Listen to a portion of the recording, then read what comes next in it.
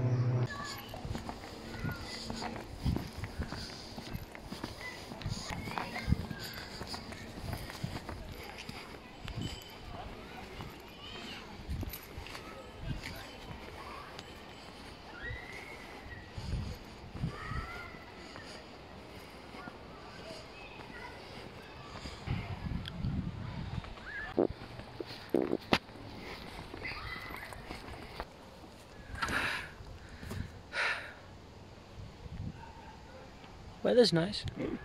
Okay, hold on. How is this experiment going to work? Well, you see, I'm going to take a measurement three times a day of my mood. First, I'm going to measure my mood at the beginning of the day. Second, after my walk. And third, at the end of the day. By doing so, I will be able to create a graph of the change in mood over the course of the 10 day runtime of the experiment. This experiment has three potential outcomes. One, my mood increases over the course of the 10 day runtime. This is good for nature walks, means it improves your mood. The second potential outcome is if it doesn't do anything, if there is no change in my mood at all.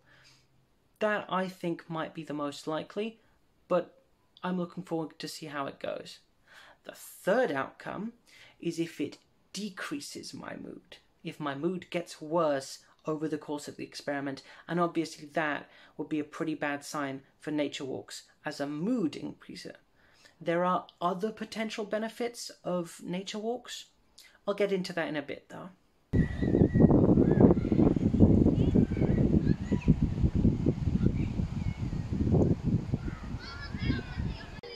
Right, time to go home. It is very busy out here.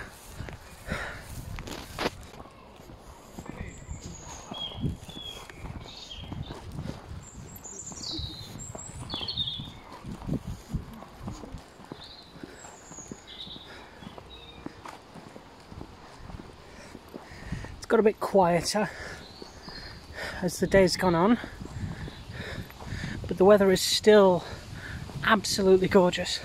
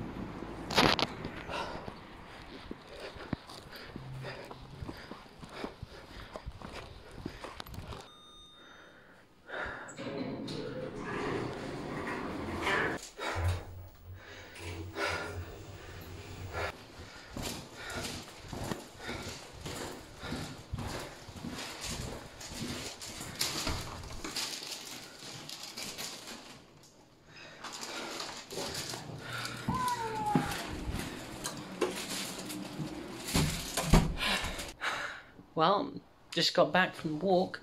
Uh, it was fun. Not sure it changed my mood very much.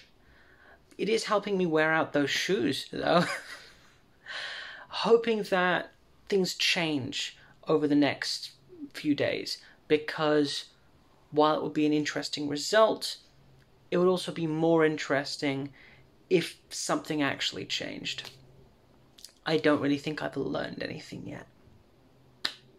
Well, on to day two. Day two was rather similar to day one. I went to the park, filmed, experienced nature, and went home. Each of these walks could range from 40 minutes to over an hour depending on how slow I walked, how long I stayed, and whether the park was my only destination or if I chose to run errands that day while I was out. Day 3 was much of the same. I made note of an underpass that I walked through on my way from one part of the park to the other. I walked through this route throughout the entire experiment, and I always felt as if it was some kind of portal. I would enter one side from the bustling first half of the park on my walk, open green spaces perfect for picnics. I would travel through the dark, echoing tunnel, and I would emerge into a quieter, closer, wilder space that I much prefer. At this point, I feel like things are changing, paying more attention to the nature around me. Honestly, it's very pleasant being out here. It looks beautiful.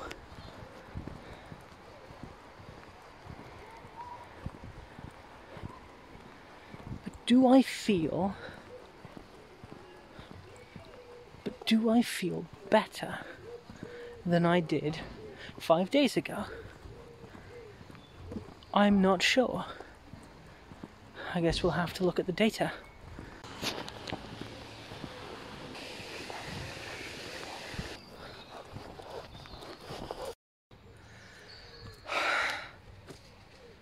I'm continually drawn to this bench. I don't know why. Perhaps it is because of how overgrown the bench is. There's just something quaint about that.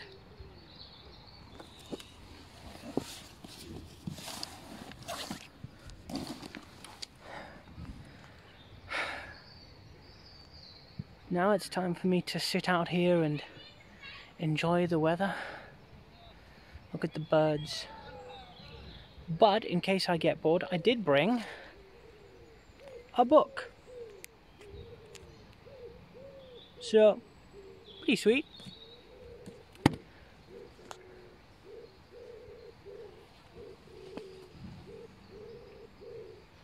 I'm being attacked from behind by plants.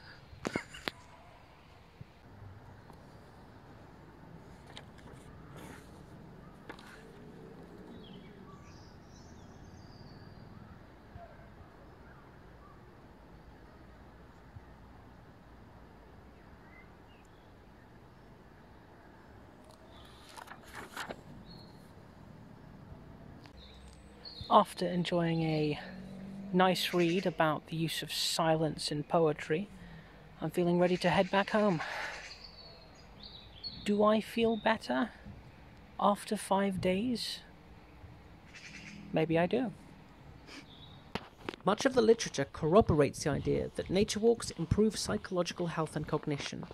For example, the cognitive benefits of interacting with nature finds that interacting with natural environments has a greater restorative effect on cognitive functioning than urban environments. They describe it as follows. Imagine a therapy that has had no known side effects, was readily available, and could improve your cognitive functioning at zero cost. Similarly, Walking Green, developing an evidence base for nature prescriptions, finds that 50 minute walks through a forest improve the psychological state when compared to activities of daily living. However, some of the research is more mixed in its results. When urban environment is restorative, the effects of walking in suburbs and forests on psychological and physiological relaxation of young Polish adults, which is quite a title, finds a reduction in depression in young Polish adults in both natural walk environments and in urban walking environments, which suggests that proximity to nature might not be as important as other studies have found. Physiological and psychological effects of walking on young males in urban parks in winter, which is also quite a title, set out to fill a gap in the literature as most research focuses on green natural spaces rather than winter natural spaces, and they did not observe a reduction of depression in natural environments, though they did still observe relaxing and psychologically beneficial effects despite the season. Overall, the literature seems to agree with my initial hypothesis that nature walks might be beneficial. I, of course, was still waiting on the results. Day 8. Almost done. Days 8 and 9 passed without much fanfare, and before I knew it, it was the final day.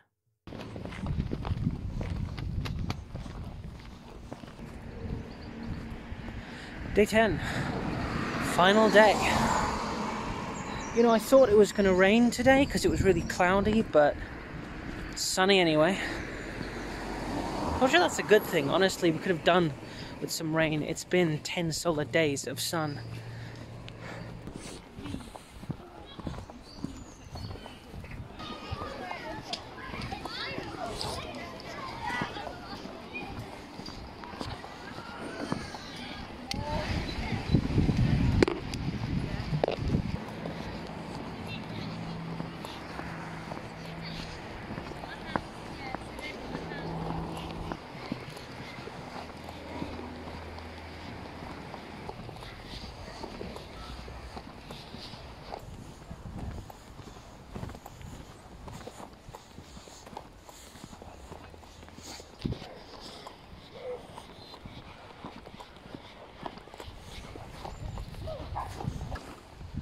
Ah, day 10, final day of the challenge. Do I think it worked? Maybe.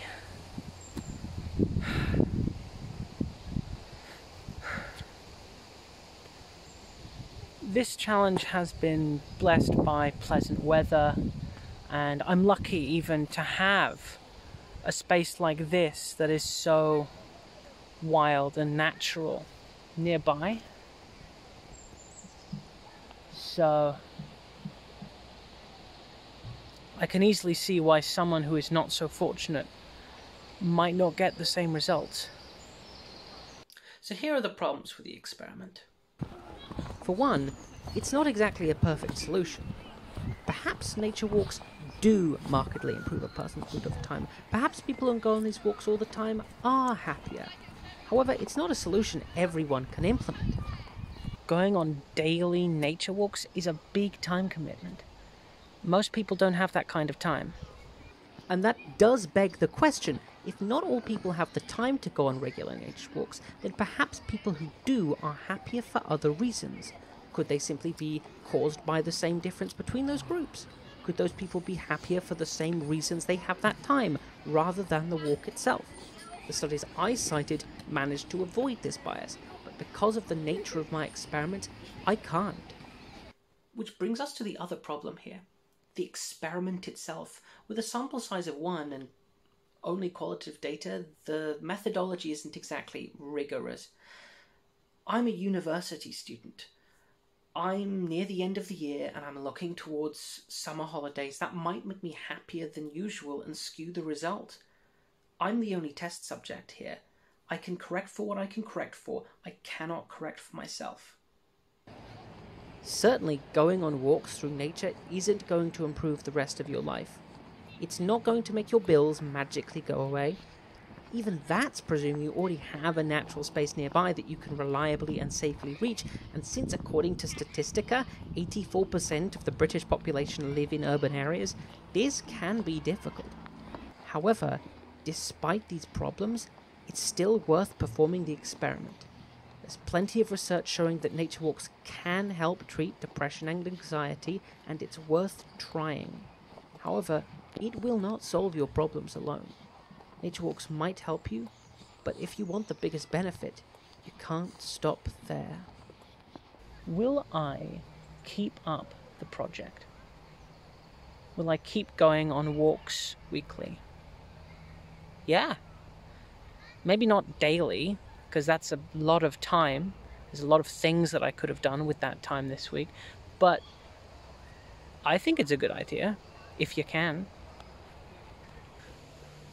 As for me, usually I would spend this time reading a book. However, I have finished the book.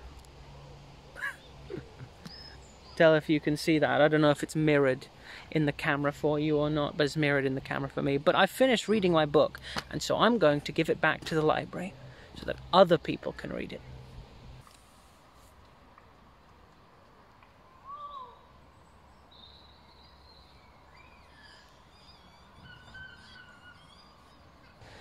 Off to the library.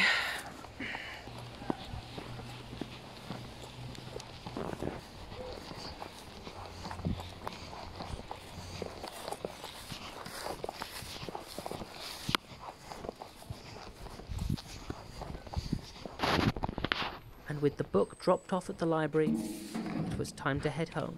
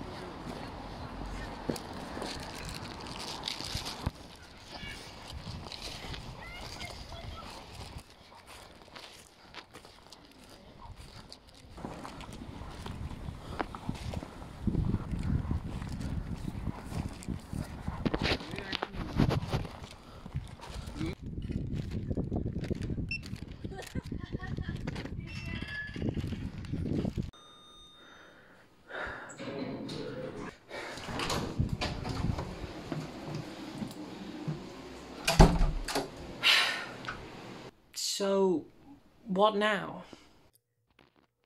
Here are the results of the experiment in graph form.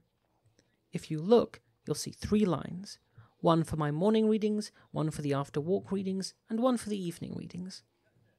What you'll see is that the morning readings tend to be higher than the evening readings. This makes sense to me. Since I'm so exhausted in the evenings, I'm generally a little more miserable and less tolerant of annoyances. However, the after walk readings are always above both.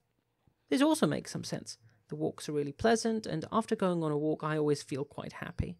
This proves that walks have an immediate effect on mood, which wanes over time.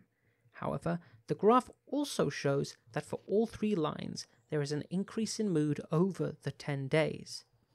This seems to prove that the walks manage to improve my mood over time rather than just immediately. However, the trend is slight in all three cases, with the afterwalk readings changing most significantly.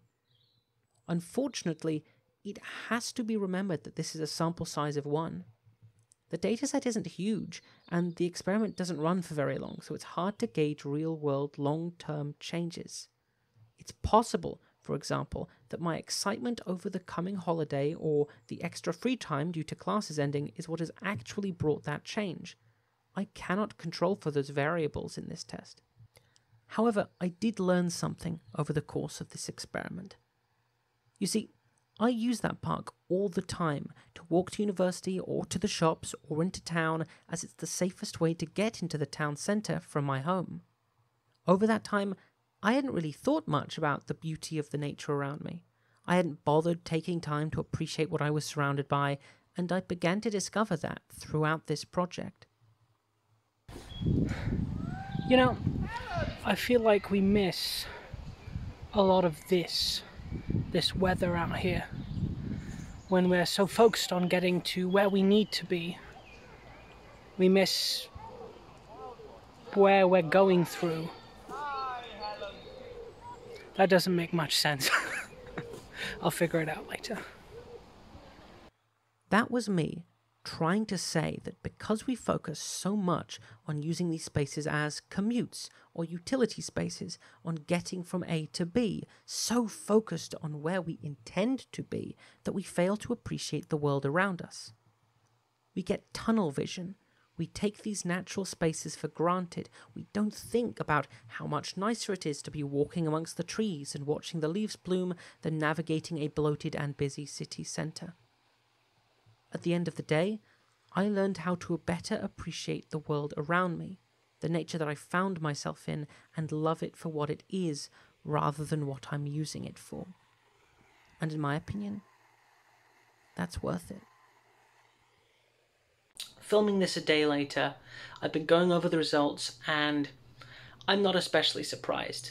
It's one of those common sense things of like, of course, going outside more often is going to make you feel better. It's not especially shocking. That does not mean that it was not worth researching.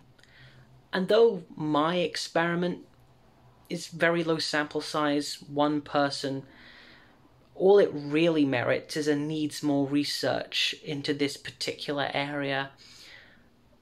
I find it fairly convincing for myself, and it's pretty sunny outside, so I think I'm going to go for a walk.